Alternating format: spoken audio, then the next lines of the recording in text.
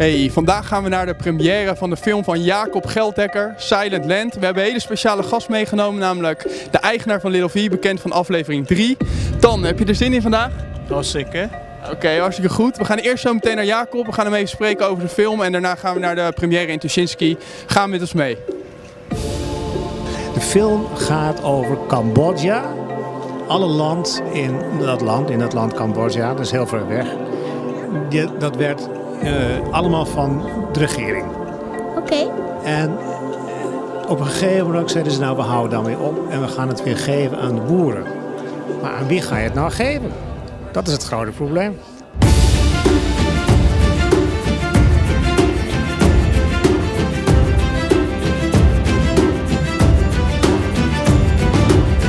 Ik heb de trailer gezien vanmiddag.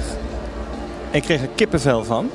Ehm, want het, het komt heel dichtbij. Wij eh, werken in eh, Cambodja onder andere en eh, dit laat mooi de dilemma's zien waar we daar aan werken. Waarom zijn jullie hier vanavond? Ja, dat is eigenlijk nog een beetje een verrassing, dus ik mag het niet helemaal zeggen, denk ik. Oh, dus een verrassing voor je vriendinnetje. Weet je wel. Ah, Oké, oké, oké.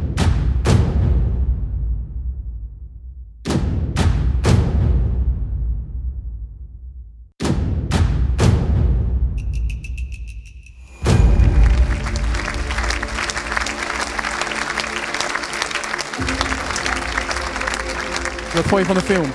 Ja, hartstikke interessant en leuk. Want eh, ik had anders verwacht. Ik dacht, nou, het wordt een hele eh, langdradige documentaire. Maar het is, eh, ja, het is gewoon heel goed. Nou, mijn eerste gevoel naar de film was, wat zijn wij blessed dat we hier geboren zijn. Dat is wat ik dacht. Ja, indrukwekkend. Ja, vertelt een, eh, een heel belangrijk verhaal over hoe de wereld eh, verdeeld is. Voor Nederland eh, werk ik aan de Sustainable Development Goals, de duurzame ontwikkelingsdoelen. En ik heb ze alle 17 voorbij zien komen in deze film.